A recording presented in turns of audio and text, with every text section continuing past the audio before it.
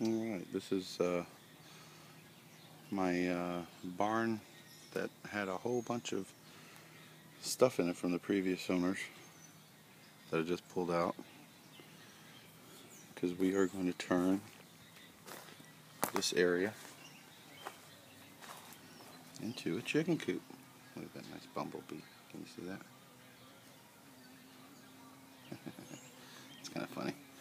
Um, we're going to turn this into a chicken coop. I'm going to clean this out a lot better and I'm going to put a floor in there.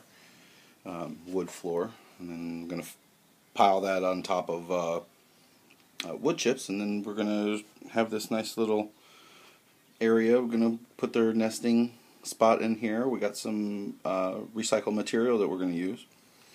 And best thing always to use recycled material. And then we're going to cut a hole there. It's going to come out to here.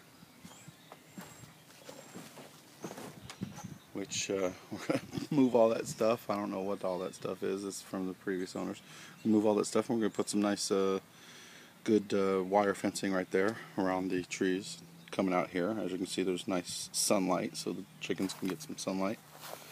Um, get some grass too. Come out to about right here, and then we're going to uh, shoot it back over to the uh, barn. Um, all fenced in, so no animals can get to them. Keep all the predators away. And we're going to experiment. We got about eight chickens, maybe seven. I don't know if one of them's a rooster or not. Um, Bumblebee is wondering what I'm doing. Very interested in what I'm doing, actually.